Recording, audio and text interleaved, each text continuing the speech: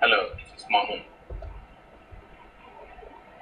Today I show you how to hide and unhide the hard disk partition drive using CMD commands. First check how many drives are there in my computers and see which drive hold your secret file. Then make the drive to invisible by following steps.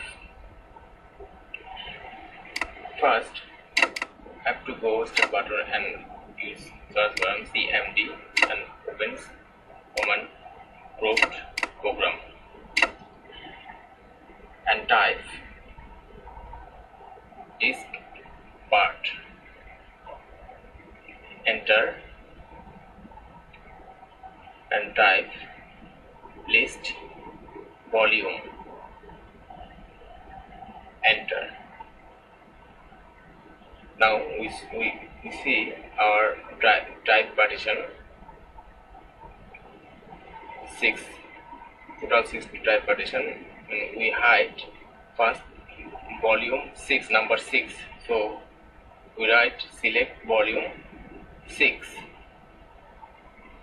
serial number 6 so number 6 enter. Volumes here you see that 6 is the selected volume. Okay. Now we hide this volume. Remove. Right remove.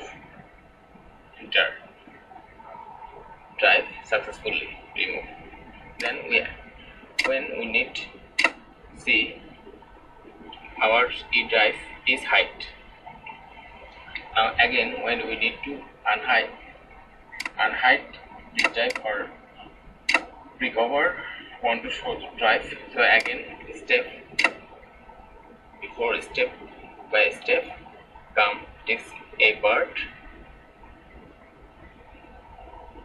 enter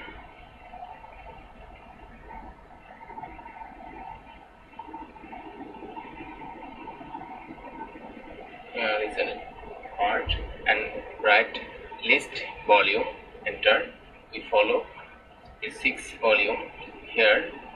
E is hide hide drive now. Now write select drive serial number 6 okay.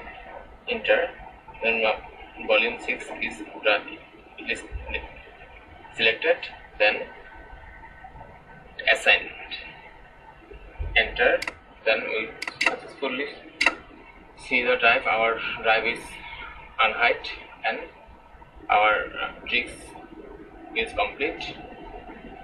Now enjoy. We see you again next tutorial. Thank you. Allah